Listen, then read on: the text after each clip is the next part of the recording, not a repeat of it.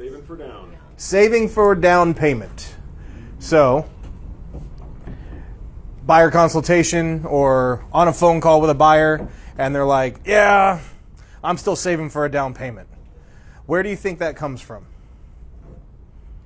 Ignorant. Okay. I couldn't agree with that more. So, wh- what do you mean by ignorance?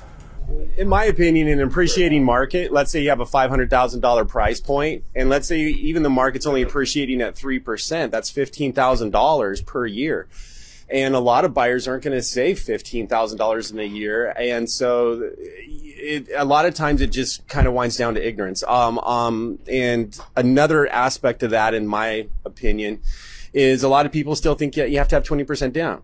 So, um, so, and there's also a lot of people don't understand there's, there's first time home buyer programs. Now they aren't always the best as far as monthly payment.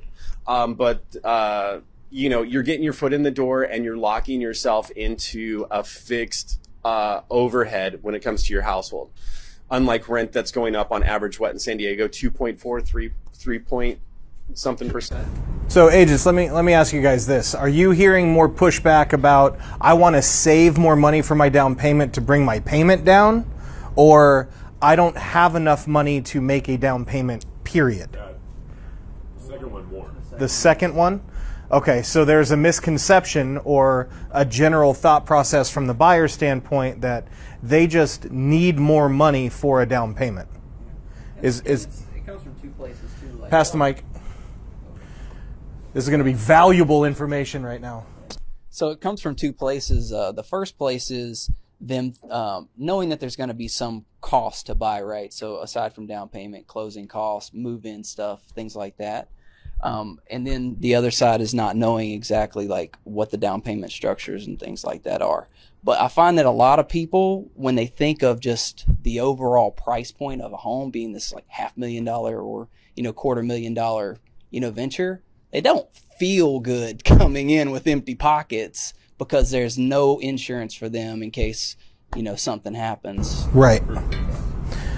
So, I, I think you bring up a good point in regards to what is the amount of money somebody's going to need when they purchase a home, because I, I know personally I've I've talked to buyers and they think the down payment is everything.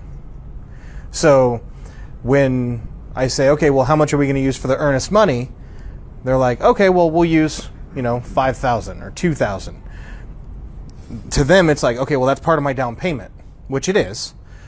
But then it's like, okay, well, now we have closing costs. And they're like, well, no, I've had the down payment for that.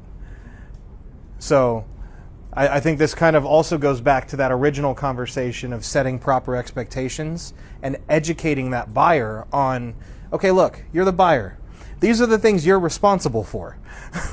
when we do submit an offer, we're going to have to tell the seller this is how much we're offering initially to show you we're a real human being, that we're going to put some skin in the game to buy the house. That's called an earnest money deposit. Then, 2.5% of the purchase price, give or take, is going to be how much we pay in closing costs. Then you have your down payment. Now, the down payment can be anywhere from three and a half to 99% of the loan. How much you make on a down payment is going to structure the type of loan that you qualify for. Does that make sense? And then you kind of field questions from them at that point. But I think if we're not putting it in that kind of a box so they understand they have an earnest money, closing costs, and a down payment, it, and, and when those things are due, because the earnest money is due immediately within three days of opening escrow. Then closing costs and down payment, the remainder of those, all get paid at the closing table through a wire. They don't get to bring a satchel of money, of cash, or doubloons, or a herd of goats to barter. you know what I mean? Like, we have to make sure that they, as the client, understand down payment is 3.5% to however much you want to make. And then the impact of those different percentages. Would you guys agree with that? Justin looked like you wanted to say something. Catch. I think that in regards to like the, the loan structure, depending on the type of loan they're going to be getting, especially dealing with like the military buyers and VA and depending on where they're at, first time home buyers, the capitalizing on that should ease some of that pain right off, I think the beginning. Goes back to the expectations again. I think for me, understanding this topic, it's the, the roadblock of when somebody just doesn't have that, but yet it's in their mind they're going to buy the home. So without losing the deal or screwing the person over and trying to really benefit them. I think that we have to have more education as to like, well, hey, we can move around this program or this program and get you in dollar for dollar here. Okay. And somebody coming in the industry new like me, I don't know all of those things. For instance, I have a friend right now who's trying to sell and he wants to put a hundred thousand down on a house. And I'm like, for what? Your VA. Put that money in another money market and make percentage off of it. You're not going to stay in the house anyway. So say 500 bucks, He- 100 grand down. He, yeah, it's, that's pointless when that money can make a lot more money than sitting on a $500 less month payment. Yeah. Right. So Mathematically, it just don't work out. luckily, we as agents don't have to take that hat and go, I am the one stop shop for everything financial decision. We have these wonderful financial partners that we bring with us to have those conversations that can be like, hey, look, I've been doing this for X amount of years. I've helped X amount of veterans purchase homes.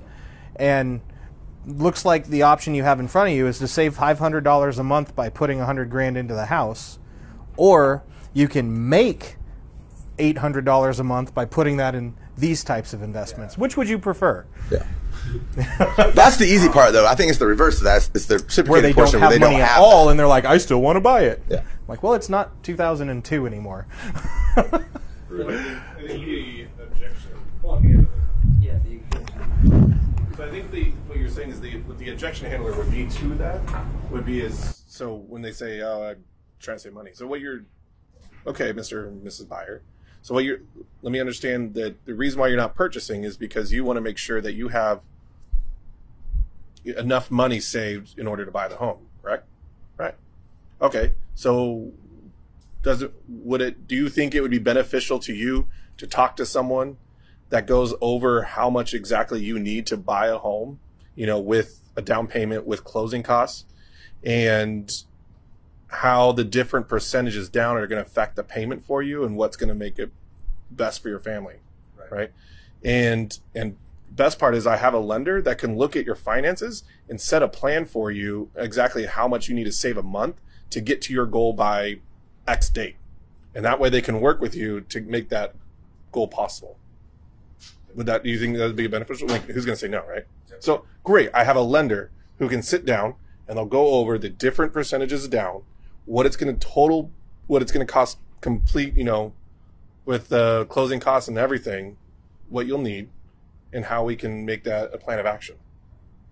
And I think Jason's done that. He's sat down with people and gone, okay, here's the plan you need in order to save and what you need to do each month. And then it's kind of just following up on us, myself, or the, the agent and the lender just to make sure they're on track for that.